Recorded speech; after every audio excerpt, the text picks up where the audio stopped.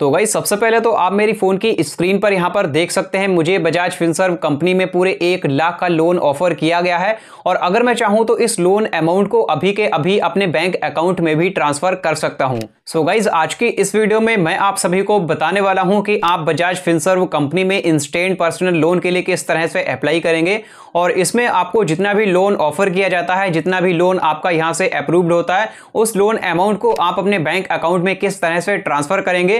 और इसमें लोन को अप्लाई करने का पूरा प्रोसेस क्या रहने वाला है? लोन की पूरी डिटेल में आपके साथ शेयर करने वाला हूँ। तो अगर आपको भी लोन की रिक्वायरमेंट है, आपको लोन चाहिए है तो इस वीडियो को आप लोग कंप्लीट एंड तक वॉच ज़रूर करें। तो गाइज़ सबसे पहले तो यहाँ पर मैं आप सभी को बता देना चाहता हूँ बजाज फिनसर्व इंडिया की एकमात्र ऐसी कंपनी है, जो आपको चालीस लाख तक का लोन प्रोवाइड करती है। और यहाँ से आप लोग लोन के लिए अप्लाई करेंगे तो आपको लोन को लेने के लिए ज़्यादा डॉक्यूमेंट्स की भी रिक्वायरमेंट नहीं होती है। आपके पास आधार कार्ड और पैन कार्ड होना चाहिए और इसके बाद आपको यहाँ से काफ़ी इजी तरीके से एक से दो स्टेप कंप्लीट करके आसानी से लोन मिल जाता है। तो गाइज़ किस तरह से आपको बजाज फिनसर्व कंपनी में इंस्टेंट पर्सनल लोन के लिए अप्लाई करना है, इसका कंप्लीट प्रोसेस मैं आपके साथ शेयर कर देता हूँ। तो चलिए वीडियो को शुरू करते हैं। तो गाइज़ बजाज फिनसर्व कंपनी से इंस्टेंट पर्सनल लोन को अप्लाई करने के लिए आपको इस वीडियो के डिस्क्रिप्शन बॉक्स में एक लिंक मिलेगा। उस लिंक पर आप लोग जैसे ही क्लिक करेंगे तो आप सीधा इस वाली वेबसाइट पर बजाज फिनसर्व की ऑफिशियल वेबसाइट पर रीडायरेक्ट हो जाएँगे। अब इस वेबसाइट पर आने के बाद आपके सामने इस वेबसाइट का इंटरफेस कुछ इस तरह से आपको देखने को मिल जाएगा।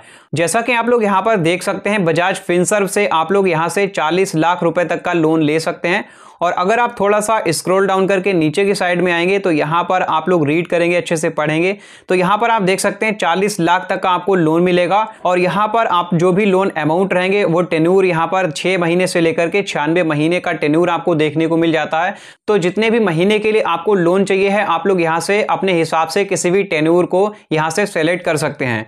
इसके बाद आप यहाँ पर देख सकते हैं, आपका जो लोन अमाउंट है, वो यहाँ पर आप लोग जैसे ही अपने आधार कार्ड, पैन कार्ड की डिटेल को फिल करेंगे तो आपका जो लोन अमाउंट अमाउंट है, पाँच मिनट के अंदर यहाँ से अप्रूव्ड कर दिया जाएगा। इसके बाद जो आपका पैसा अप्रूव्ड होगा, वो पैसा आपके बैंक अकाउंट में 24 आवर्स के अंदर ही ट्रांसफ़र कर दिया जाएगा। नीचे आप लोग देख सकते हैं बजाज फिनसर्व से आप लोग जो लोन अमाउंट करेंगे तो आपको क्लियर ही पहले ही मेंशन कर दिया जाएगा। जितने भी आपके लोन पर चार्जेस लगेंगे, यहाँ पर कोई भी हिडन चार्जेस नहीं रहेगा। और इस लोन को लेने के लिए किसी भी तरह के कोई गारंटर या फिर कोलेट्रल की ज़रूरत नहीं पड़ेगी। तो गाइज़ अब आपको यहाँ पर बजाज फिनसर्व से किस तरह से लोन को अप्लाई करना है तो लोन को अप्लाई करने के लिए आपको नीचे भी यहाँ पर ऑप्शन दिया रहेगा अप्लाई नाउ या फिर आप लोग स्क्रॉल अप करके ऊपर की साइड में आएँगे तो यहाँ पर आपको अप्लाई नाउ का ऑप्शन दिया रहेगा। आप लोग अप्लाई नाउ वाले ऑप्शन पर क्लिक करेंगे। इसके बाद आपको यहाँ पर साइन इन करने के लिए मोबाइल नंबर की रिक्वायरमेंट रहेगी तो यहाँ पर आप लोग इस वाले बॉक्स में अपने मोबाइल नंबर को एंटर करेंगे और इसके बाद आप गेट ओटीपी के ऑप्शन पर क्लिक करेंगे। इसके बाद आपने जो मोबाइल नंबर यहाँ पर एंटर किया है, उस पर एक ओटीपी सेंड किया जाएगा। तो उस ओटीपी को आप लोग चेक करके इस वाले बॉक्स में एंटर करेंगे और इसके बाद आप सबमिट के ऑप्शन पर क्लिक करेंगे। अब आप जैसे ही सबमिट के ऑप्शन पर क्लिक करते हैं, सबमिट के ऑप्शन पर क्लिक करते ही आपके सामने कुछ इस तरह से पर्सनल डिटेल्स को फिल करने का एक पेज आ जाएगा। जिसमें कि आपको यहाँ पर अपनी सभी कंप्लीट जो भी बेसिक सी डिटेल होती है, जो आपकी पर्सनल डिटेल होती है, उसे फिल करना है। तो पर्सनल डिटेल्स में सबसे पहले आपको इस वाले बॉक्स में अपने फ़र्स्ट नेम को एंटर करना है। इस वाले बॉक्स में आपको अपने लास्ट नेम को एंटर करना है और यहाँ पर आप जो भी अपना नेम एंटर करेंगे, वो आप आधार कार्ड और पैन कार्ड के बेस्ड पर ही अपने नेम को यहाँ पर फिल करेंगे। इसके बाद आपको इस वाले बॉक्स में अपने पैन कार्ड के नंबर को एंटर करना है। इस वाले बॉक्स में आपको अपनी डेट ऑफ़ बर्थ को एंटर करना है, जो आपके आधार कार्ड और पैन कार्ड में आपकी डेट ऑफ़ बर्थ रहेगी। और इसके बाद आपको इस वाले बॉक्स में अपनी पिन कोड को एंटर करना है, जो आपके एरिया का पिन कोड रहेगा। और इसके बाद आपको सिटी को इस वाले बॉक्स में एंटर करना है। और नीचे के साइड में आप थोड़ा सा स्क्रॉल करेंगे तो यहाँ पर आपको प्रोफेशनल डिटेल्स का ऑप्शन दिया रहेगा।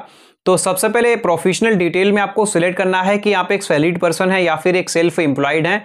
तो अगर आप सैलिड पर्सन है तो आप लोग सैलिड को सिलेक्ट करेंगे और इसके बाद आपको यहाँ पर एक बॉक्स दिया रहेगा मंथली टेक होम सैलरी तो आप एक महीने के अंदर जितना भी अर्न कर लेते हैं, आपकी एक महीने की जितनी भी सैलरी है, उसका अमाउंट आप लोग इस वाले बॉक्स में फिल करेंगे। और यहाँ पर आपको एक बॉक्स दिया रहेगा, जिसमें लिखा रहेगा टोटल मंथली ई एम तो अगर आपने किसी और एप्लीकेशन से या फिर किसी बैंक से लोन ले रखा है तो उस लोन की जो भी ई आती है, अगर आपकी ई चल रही है तो आप लोग उस ई के अमाउंट को आप इस वाले बॉक्स में फिल करेंगे।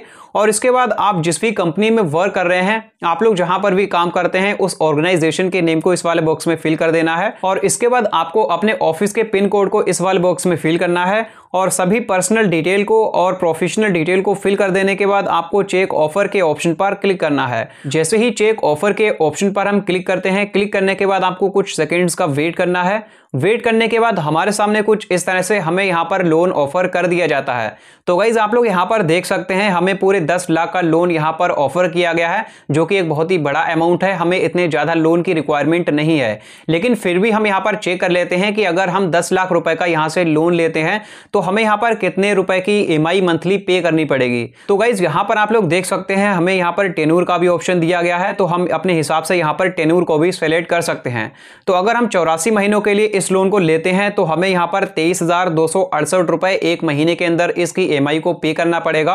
और अगर हम इसके टेनूर को यहाँ से चेंज कर लेते हैं, यहाँ से अगर हम 48 महीनों के लिए इस लोन अमाउंट को लेते हैं तो हमें यहाँ पर चौंतीस इसकी ई को मंथली पे हमें करना होगा। और अगर हम इसी 10 लाख के लोन अमाउंट को 60 महीनों के लिए लेते हैं तो हमें हर महीने सत्ताईस हज़ार तीन सौ छब्बीस इसकी एमआई को पे करना होगा। तो गाइज़ यहाँ पर जो 10 लाख का लोन अमाउंट है, ये हमारे लिए बहुत ही ज़्यादा है। हम यहाँ से इस लोन अमाउंट को अप्लाई नहीं करेंगे तो हमें यहाँ पर बहुत ही कम लोन अमाउंट की रिक्वायरमेंट है।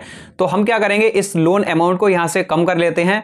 तो हम यहाँ से मिनिमम जो है, एक लाख रुपए एंटर कर लेते हैं। हमें एक लाख की यहाँ पर नीड है, ज़रूरत है।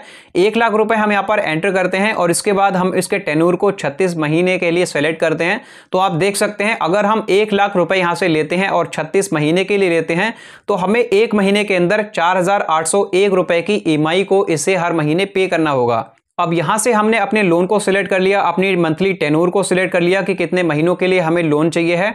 अब इस लोन को हमें अप्लाई करने के लिए प्रोसीड का ऑप्शन नीचे दिया रहेगा तो हम प्रोसीड के ऑप्शन पर क्लिक करेंगे। प्रोसीड के ऑप्शन पर क्लिक करते ही हमारे सामने कुछ इस तरह से केवाईसी के प्रोसेस को कंप्लीट करने का जो प्रोसेस है, वो शुरू हो जाएगा। तो हमें यहाँ पर केवाईसी कंप्लीट करने के लिए get KYC done using DigiLocker का ऑप्शन दिया रहेगा तो हम इसी वाले ऑप्शन पर क्लिक करेंगे। क्लिक करने के बाद हम सीधा डीजी लॉकर की ऑफिशियल वेबसाइट पर रीडायरेक्ट हो जाएँगे। अब हमें डीजी लॉकर से यहाँ पर इसकी केवाईसी को कंप्लीट करना है। तो अगर आपका पहले से ही डीजी लॉकर में अकाउंट बना हुआ है तो आप लोग यहाँ पर अपने मोबाइल नंबर को एंटर करेंगे। इसके बाद आप नेक्स्ट वाले ऑप्शन पर क्लिक करेंगे। तो आपके मोबाइल नंबर पर ओटीपी आएगा, उसे आप लोग सबमिट करेंगे। तो आप डीजी लॉकर में लॉग हो जाएँगे और इसके बाद आप आधार कार्ड से इसमें केवाईसी को कंप्लीट कर पाएँगे। लेकिन अगर आपका पहले से डीजी लॉकर में कोई भी अकाउंट बना हुआ नहीं है तो आपको यहाँ पर नीचे की साइड में साइन अप का ऑप्शन दिया रहेगा तो आप लोग साइनअप वाले ऑप्शन पर क्लिक करेंगे और इसके बाद आप इस वाले बॉक्स में अपने आधार नंबर को एंटर करेंगे और इसके बाद आप नेक्स्ट वाले ऑप्शन पर क्लिक करेंगे। और इसके बाद आपके आधार कार्ड से जो मोबाइल नंबर रजिस्टर रहेगा, उस पर ओटीपी आएगा। तो ओटीपी आप लोग चेक करके इस वाले बॉक्स में फिल करेंगे और ओटीपी फिल करने के बाद आपको सबमिट के ऑप्शन पर क्लिक करना है। सबमिट के ऑप्शन पर क्लिक करते ही आपको यहाँ पर सिक्स डिजिट के एक एमपिन को सेट करना है। आप लोग कोई भी रेंडम जो कि आप लोगों को एमपिन याद रहे, उसे आप लोग यहाँ पर फिल कर लेंगे। और इसके बाद आप डन वाले ऑप्शन पर क्लिक करेंगे। डन के ऑप्शन पर क्लिक करने के बाद आपको यहाँ से डिजी लॉकर की परमिशन को अलाउ करना है तो आप लोग अलाउ वाले बटन पर क्लिक करेंगे। अलाउ के ऑप्शन पर क्लिक करते ही जैसा कि आप लोग यहाँ पर देख सकते हैं, हमारे जो है, हमें दो डॉक्यूमेंट्स हो चुके हैं, एक आधार कार्ड और ड्राइविंग लाइसेंस। तो हमें आधार कार्ड से केवाईसी को कंप्लीट करना है तो हम यहाँ से आधार कार्ड को सेलेक्ट कर लेंगे। आधार कार्ड को सेलेक्ट करते ही हमारे आधार कार्ड की जो डिटेल्स रहेगी हमें यहाँ पर सभी देखने को मिल जाएगी। तो इसके बाद हम कंफर्म के ऑप्शन पर क्लिक करेंगे। जैसे ही हम कंफर्म के ऑप्शन पर क्लिक करेंगे क्लिक करने के बाद हमारा जो प्रोसेस है, हमारी जो केवाईसी है, यहाँ पर कंप्लीट तरीके से हो जाएगी। और इसके बाद हम जो है दोबारा से बजाज फिनसर्व की वेबसाइट पर रीडायरेक्ट हो जाएँगे, इसके होम पेज पर आ जाएँगे। अब यहाँ पर आपका जो लोन है वो अप्लाई हो चुका है, अब आपको कुछ भी नहीं करना है, आपको यहाँ पर वेट करना है।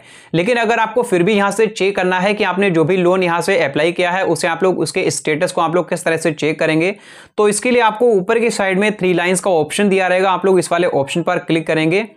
क्लिक करने के बाद आपको नीचे की साइड में यहाँ पर एक चेक प्री अप्रूव्ड ऑफर्स का ऑप्शन दिया रहेगा। इस वाले ऑप्शन पर आप लोग क्लिक करेंगे। क्लिक करने के बाद आपको दोबारा से उसी मोबाइल नंबर को यहाँ पर एंटर करना है, जो आपने साइन इन के टाइम एंटर किया था। और इसके बाद आप गेट ओटीपी के ऑप्शन पर क्लिक करेंगे। इसके बाद आपके मोबाइल नंबर पर जो ओटीपी सेंड किया जाएगा, उस ओटीपी को आप लोग चेक करके यहाँ पर एंटर करेंगे और इसके बाद आप सबमिट के ऑप्शन पर क्लिक करेंगे। तो आप यहाँ पर जैसे ही सबमिट के ऑप्शन पर क्लिक करेंगे तो आपके सामने कुछ इस तरह का इंटरफेस आ जाएगा और ऊपर के साइड में आपको यहाँ पर एक शॉपिंग का ऑप्शन दिया रहेगा, आइकॉन दिया रहेगा तो आप लोग इस शॉपिंग वाले आइकॉन पर एक बार क्लिक करेंगे। क्लिक करने के बाद यहाँ पर आप देख सकते हैं, हमने जो भी पर्सनल लोन अप्लाई किया था, वो यहाँ पर हमें देखने को मिल जाता है। हमने यहाँ पर एक लाख रुपए का 36 महीनों के लिए पर्सनल लोन अप्लाई किया था। जैसा कि आप यहाँ पर देख सकते हैं, अगर आप इस लोन को यहाँ से कैंसिल करना चाहें, वो भी आप लोग यहाँ से कर सकते हैं।